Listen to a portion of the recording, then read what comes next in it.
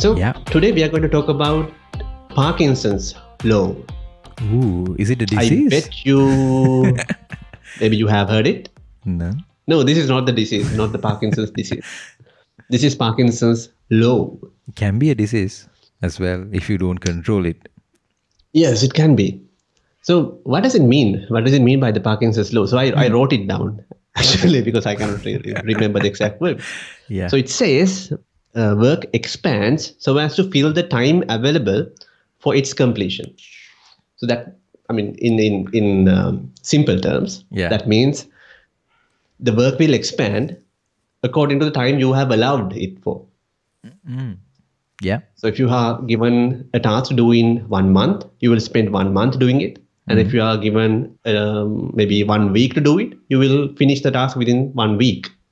And if it is one day, you will try to finish it within one day. Yeah. So that's that's the law. Um, it happens when you have like very competitive exams. Yes, exactly. I, I I remember that this is happening to me a lot.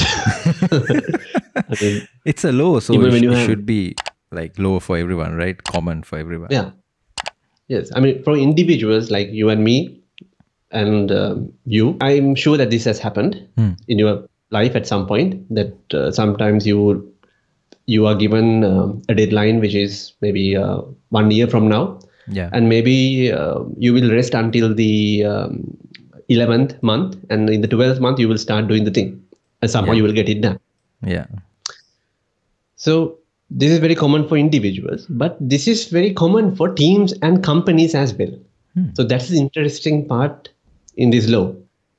Harshav, do you have any experience in working in any project, maybe at work or maybe uh, any individual project, where you think that this law got applied, maybe unconsciously? of course every day. Yeah i think um, like short answer is yes of course. And the long answer is that uh, like generally i have seen that pattern where uh, if you plan for something like all these you know even though we are in an agile world we do plan right? So uh, when we plan things we try to think about all the risks and everything and then say okay this will take one year to do or this will take two months to do.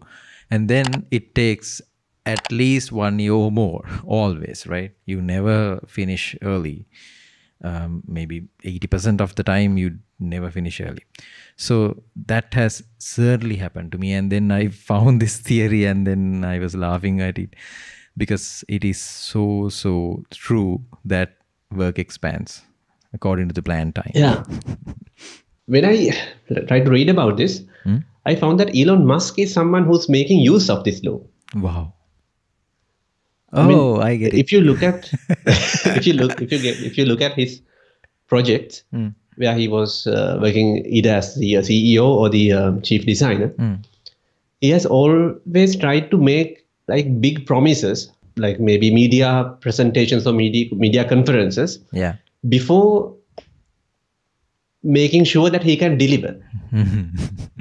and he has al- almost always failed to deliver on the deadline as well. yeah But maybe uh, if he didn't do that, it might have taken maybe double the time that it took. yeah So he's someone who, who actually uses this law to be more productive and deliver better results. that's a great insight. So maybe that's something that uh, Mm. we can also try to uh, make use of. yeah be like elon um, musk be like Elon Musk.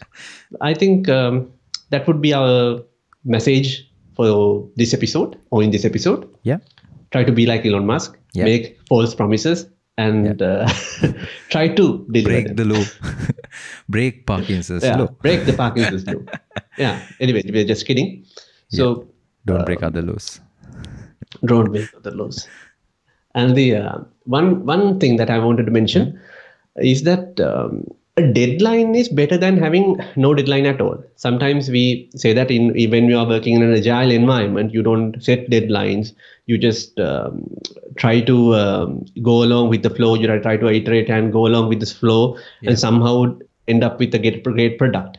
yeah But it's not the case practically. yeah If you don't have a deadline, then you will never finish it. Yeah.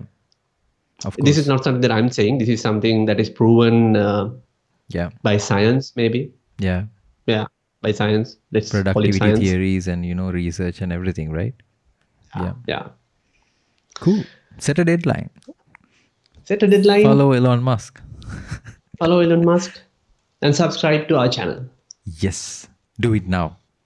It's down below. Right Red now. button. okay then. Great. See you again. We'll see you again in another episode. Bye. Bye bye.